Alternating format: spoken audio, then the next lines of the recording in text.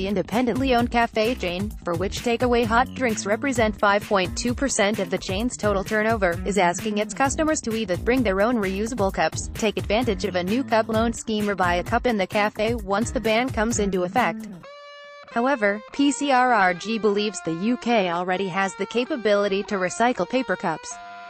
Neil Whittall, Chairman Paper Cup Recovery.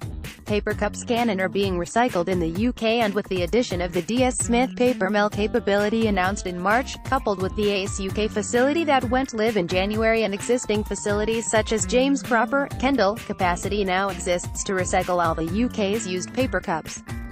Paper cups are the most food-safe and sustainable solution for tea and coffee on the go and have a positive role to play in the UK economy. It is important that people realize their benefits and any individual decision is not misinterpreted.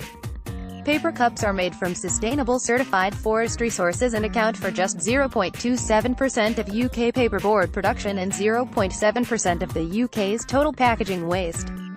The industry has worked hard over the past year to increase the number of collection and recovery points for consumers and there are now 4,000 in-store collection points in coffee shops all over the country.